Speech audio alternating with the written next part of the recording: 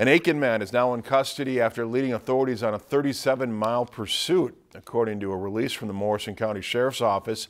At about 4.15 yesterday afternoon, the Pierz Police Department located a vehicle behind Pierz Foods that was occupied by a man with a warrant out for his arrest. The man was a suspect in a domestic abuse no contact order. When the Pierz officer attempted to stop the vehicle, the suspect led officers on that 37-mile pursuit, which ended in Mille County.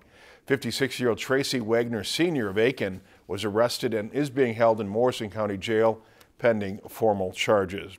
If you've enjoyed this segment of Lakeland News, please consider making a tax-deductible contribution to Lakeland Public Television.